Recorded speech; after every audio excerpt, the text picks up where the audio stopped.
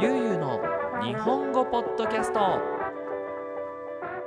い皆さんこんにちは。ゆうゆうの日本語ポッドキャストのお時間です。皆さん元気にしていますでしょうか？今日は2024年の6月17日月曜日にこのポッドキャストを撮っています。ということで1週間またスタートしましたね。どんなスタートを切りましたでしょうか？皆さんは。はい。で僕ねいつもねこのポッドキャストのスタートで最近のお話をするんですけどもちょっと最近じゃないお話を今日はしようかなと思っております。はい。先々週とね先週に車に乗る機会がすごく増えまして。っていうのもあの普段僕本当に家から出ないので一に車があるんですけども車乗らないんですよ。で買い物も歩いて行けるお店でいつもねあの必要なものは買っているのでスーパーにも行かないんですね。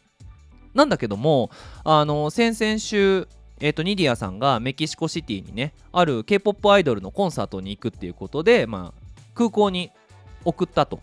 でその後に、えーと、メキシコシティの友達がグアダラハラに遊びに来たので、えーと、そのお友達を、まあ、空空港までね迎えに行って送り届けてっていうね、まあ、そういうまああんまり普段やらないこう空港への送り迎えというか送迎といいますか。そういうのがありまして車に乗る機会が多かったんですよ。で例えばニディアさんをさそのメキシコシティ首都に行くから空港に送ります。行く時はニディアさんと一緒に車乗っているんですけど、まあ、帰りはもちろん1人で帰りますよね。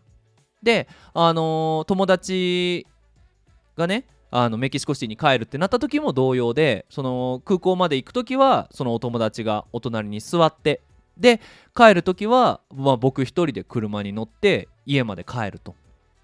でうちから空港までそんなに遠くはないんですけども、まあ、渋滞していると、まあ、大体40分長くて50分近くかかってしまう時もあるんですね。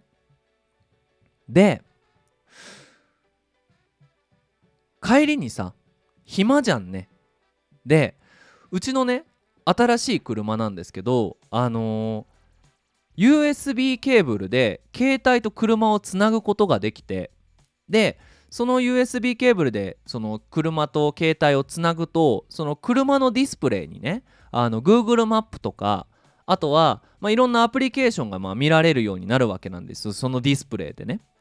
で面白いのがあの Spotify がその、まあ、自動でかかるわけなんですよ。でまあその前に聴いていた何か音楽だったりとかっていうのが、まあ、自動的にその車に携帯をつなげた時点で流れるってね。であのまあ、ゆうゆうの日本語ポッドキャストが流れたんですよ。でこれねあのー、僕ポッドキャスト撮り終わった後に今度文字起こしって言って YouTube にアップロードするために、まあ、僕の話していることをま文字にしてでその起こした文字が合っているかどうかっていうのを、まあポえー、Spotify のゆうゆうの日本語ポッドキャストを聞きながら文字をチェックしてそのね漢字に間違いがないかとかちゃんと僕の言っていることをはなあの書いているかどうかっていうのをまあチェックするんですけども、まあ、それもあってその車の中でねゆうの日本語ポッドキャストが流れたと。ですごくね渋滞していたのでなんかこうパネル操作まあ要はそのディスプレイをねこう指で触って次のポッドキャストとか次のエピソードみたいにするのがめんどくさかったのでまあいいやと思って久しぶりに自分のポッドキャストを一リスナーとして聞いてみようと思ってね聞いてたんですよゆうゆうさんのポッドキャスト面白いなと。ごめんね。ごめんね。でもね思ったのよ。僕のポッドキャスト結構面白いなって。いやみんな僕のこと嫌いにならないで。嫌いにならないで。あのすごいねなんかナルシスト的な意見なんだけどもね聞いたら結構面白かったんですよ。うん。あの 何のエピソードだったっけな？あのどの動物になりたいかっていうねポッドキャストだったんですけども。まあもちろんまだポッドキャスターとしてねすごいわけではないですよ。やっぱこうやってあの台本がないまんま話すのでところどころ日本語が変になってしまったりとかなんか「ねえ」とかが多かったりとかうん。話が前後しちゃって途中で分からなくな分かりにくくなってしまうとかいろいろあったんですけども全然聞けるじゃんと思ってね。いや普段はさ自分のポッドキャストって YouTube の編集の時に聞くからもう5秒ずつね止めて文字を入れて止めて文字を入れてとか、あのー、聞きながらそのスクリプトをチェックして間違いがなかったらいいけどやっぱ細かいミスがあるからね10秒ごとに止めたりするので最初から最後までこう一つの作品として聞くっていう機会がほとんどなくてね。うん。面白いなって 思いました。うん。なかなかやるじゃんみたいなね。うん。えっ、ー、とあとねそのこうやってきっと世界にはね会社に行く時に車の中でこうやってポッドキャストを聞いてふふって笑ったりとかへーってなったりとかうんなんかそういう風に聞いてるんだろうなと。でそのなんかみんなとね僕は心がつながった感じがしたのよ。うん。なんかあこういう感じかと。みんなはこういうのを待っているんだと。だから今日のポッドキャストもきっとどっかのね国で車に乗りながら渋滞でねその渋滞長いなと思いながらも少しでもね時間が短いなって感じてくれたらいいなって。うん。ニコニコってイライラしてる中このポッドキャストを聞いてゆうさんが俺のポッドキャスト自分で面白いって言ってちょっと変だなって思いながらクスクスって笑ってくれたら嬉しいなって思うんですよ。まあそんなねあのー、まあ、変わった頭の悪いゆうゆうさんなんですけども言われるんですよ結構。あのーゆうさんって悩みなさそうですよねって。すごいポジティブですよねって。なんかメキシコに行って行ったからすごく明るくて元気ですよねとかってね。ね不安なんてないんじゃないんですかって聞かれることもあるんですけどもありますよ。不安。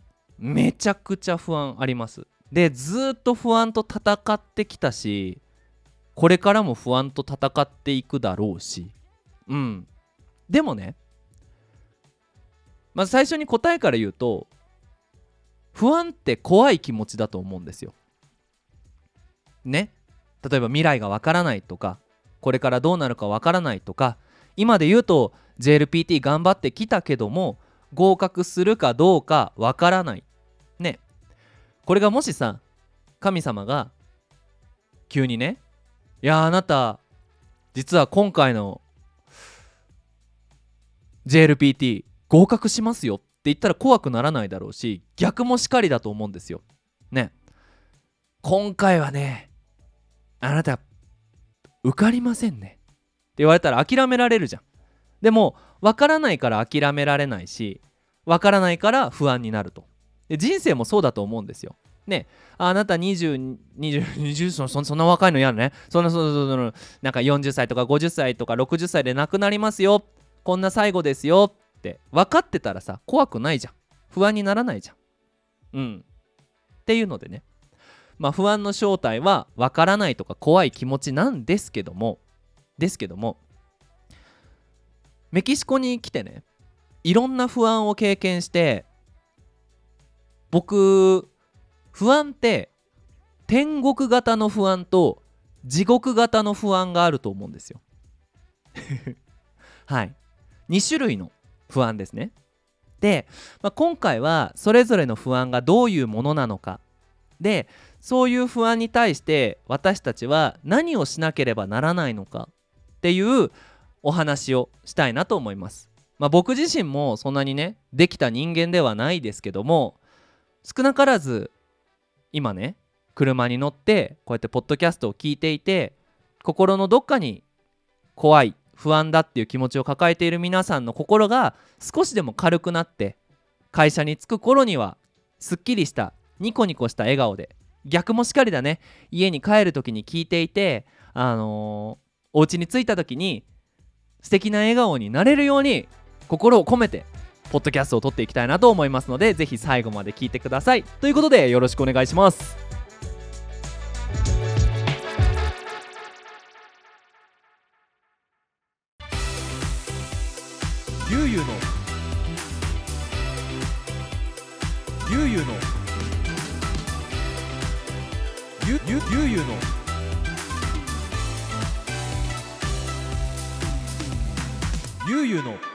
本語ポッドキャスト。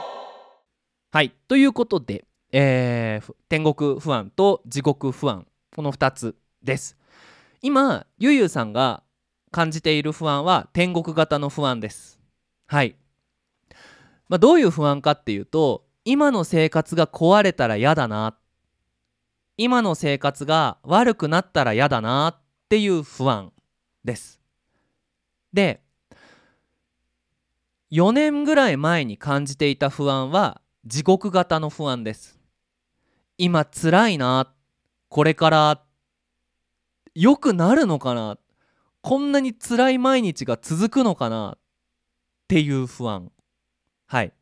つまり今がハッピーでそのハッピーが壊れるのが怖いのが天国型の不安。で今の生活が辛くてこの生活がずっと続いたら嫌だな続く続かん続かない保証？続かない保証もないしっていうのが地獄型の不安になります。うん、であのー、このね天国型の不安と地獄型の不安っていうことで今度ちょっと大きいテーマの話をするんだけど日本とかアジアの国の多くはこの天国型の不安を考えあの感じている人が多いと思うんですよ。でラテンアメリカ、ね、経済があんまり強くない国の人は自国型の不安を感じる人が多いんじゃないかなって思います。はいなんか僕も実際ね22歳まで日本にいて日本の生活をねしていてやっぱ満たされてるんですよ安全だしご飯おいしいしお腹が空くこともそんなにないし。うん。だからこそ今の生活がなくなっていく怖さっていうのがあると思うんですよ。だからその今の生活が変わりそうなものとかコンセプトにすごくイライラする。うん。なんだろうな。なんか最近で言うとあのオーバーツーリズムって言って外国の方がね旅行でいっぱい日本に来てでそのすごく日本の生活が大変になるとかっていうニュースをすごく今日本は、まあ、頑張ってテレビで出しているんですね。でそういうのってみんなも見たくなっちゃうんですよ。なんでかっていうとやっぱ天国にいる人たちっていうのは今の生活が壊れそうななんかそういうなんかなんていうのかな可能性を秘めたものがいるとキーってアレルギー反応が出ちゃうんですよね。うん。だからわからない怖いとかね。うん。であのー、地獄型の不安ですよね。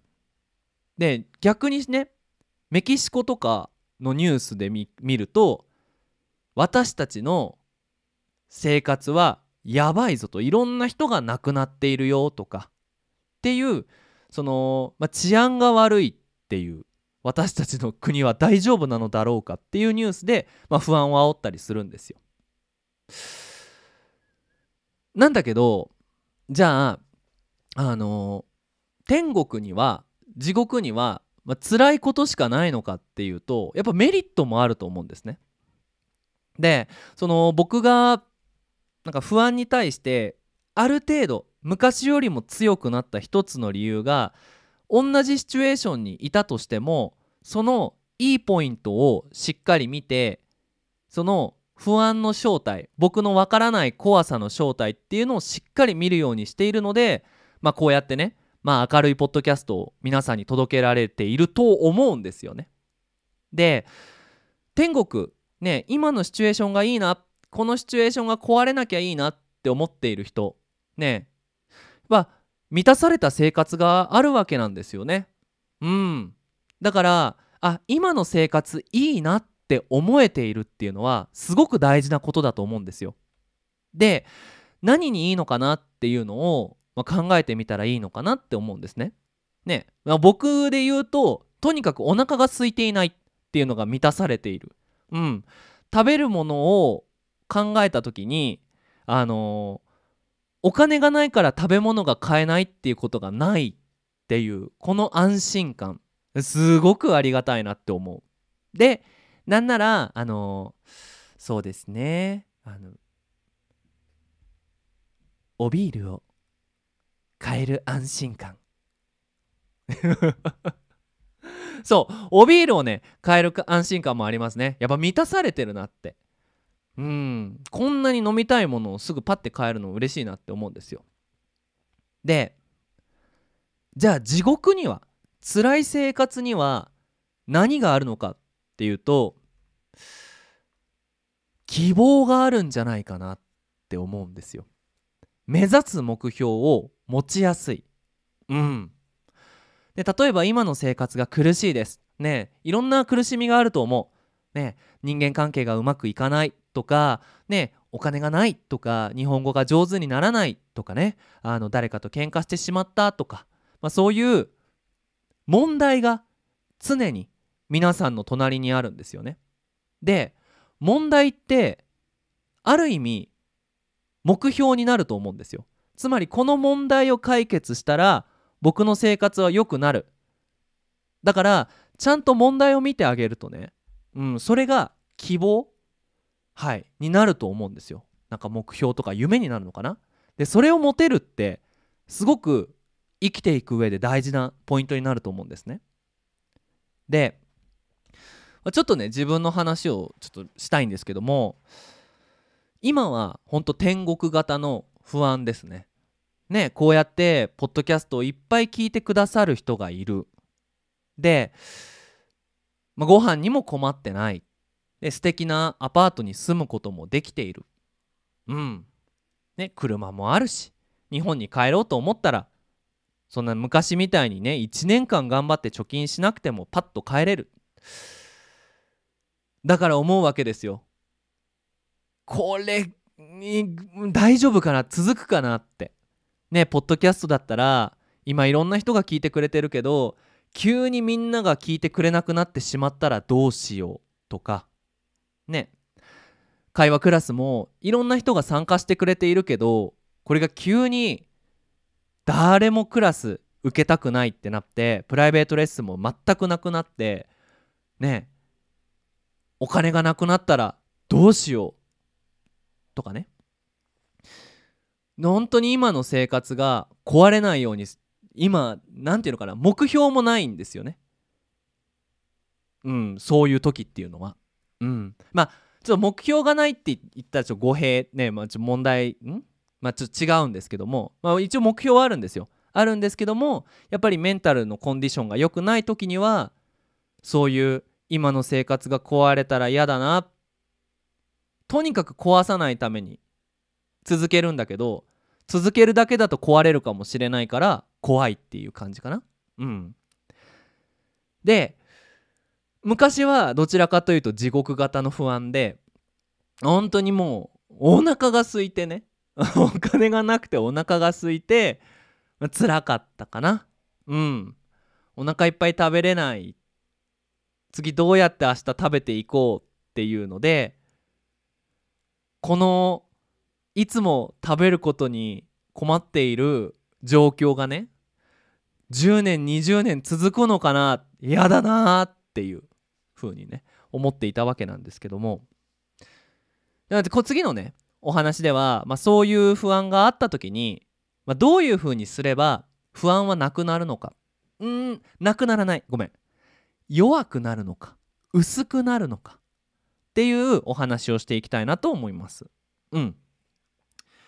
まずはじめにその天国型の不安、まあ、天国にいると。今の生活満足しているけどこの満足している毎日が続くかどうかわからなくて怖いっていう人この人へのアドバイスはとにかく他人の幸せを願うここだと思います。うん。自分のハッピーをねとにかく大事にしたいと続けてほしいんだけどもとりあえず自分のハッピーは置いといてできるだけ近くにいる人近くにいるものの幸せを考えるっていう風に。今僕はそのトレーニング中です。うん。まあ、だからあのグループレッスンではとにかくみんなにハッピーになってもらいたい。であの生きる希望を持ってもらいたい。まあそんな大げさだけどね。大げさだけど1週間に1回あのクラスがあるから楽しみだな頑張っていこうとかなんかクラス入る前にすげえなんかもうやる気ないしもう人生嫌だなって思ってたけどなんかクラス終わった後すごいすっきりしてる。なんか元気が逆に出たっていうようなクラスを作りたいなとかあとはね最近あの観葉植物にはまってるんですよ。あの植物を育ててるんです。でこれもある種あの誰かの幸せ、まあ、つまり、まあ、植物のね幸せを願って早く起きてお水をあげて今日も頑張ってねって今日もちょっとでも育ってねっていう気持ちで お水をあげてるんですよ。でそうするとその自分の心の不安っていうのがだんだんだんだんこう薄くなってく感じがするかな。うん。なんか昔その自分のことだけ、まあ、つまりその今の生活が壊れるのが怖いからとにかくポッドキャスト頑張るとかもっとビデオ作るとかあのクラスも増やすとかプロモーションをするって頑張ってた頃よりも今の方がなんか怖さがね弱い感じがする。うん、で、あのー、今度逆にですね地獄にいる人、まあ、本当今の生活が辛い、ね、苦しい。でこの苦しさがいつ終わるかわからない怖さ。っていうのを抱えている人は逆に自分を愛してあげる。うん。とにかく自分にいいことをしてほしい。ね。それがもしかするとねお仕事を変えることかもしれないしお勉強をすることかもしれないしなんだろうな。あのー、ねジムに行くことかもしれない。美味しいものを食べることかもしれないしゆっくり休むことかもしれない。とにかく自分のことを考えた方がいいと思う。うん。なんか自分が苦しい時ってね周りの人たちがすごくキラキラして見えるんですよ。いいな羨ましいなあの人はあんなにお金持っていてあの人はあんなに旅行していてあの人はあんなになんか素敵なカップルでみたいになるんですよね。でそうするとまあ自分なんて無理かってなっちゃうんですよ。遠すぎる。でも自分をしっかり見てあげるとあの次何すればいいのか確かに他の人に比べたら全然すごいことじゃないかもしれないけど一つずつやっていこうっていう風になる。うん、でその天国型の不安を抱えている人も地獄型の不安を抱えている人もとにかく大事なのはイメージ力だと思うんですよ。ねその今の生活が満たされている人は他の人の幸せとか他の人が嬉しいっていうのをイメージする。ねその自分の不安がこう少しでも消えるようにねうんニコニコしているみんなをイメージする。で地獄にいる人は自分が将来笑っているなんかニコニコしている自分をイメージして毎日生活していくとねあのー、いいんじゃないかなって思います。うんまあ、こんな形でね、まあ、今回はかなりのんびりしたペースでお話ししてきたんきたんですけどもいかがだったでしょうか？ね少しでも皆さんの心が少しでも軽くなるといいなと思います。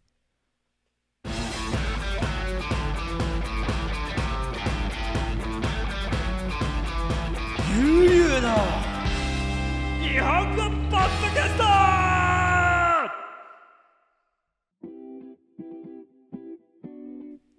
はい。ということでエンディングでございます。今回はねちょっと短めのポッドキャストだったんですけどもいかがだったでしょうか。ね。天国型の不安と地獄型の不安ということでねお話ししていきました。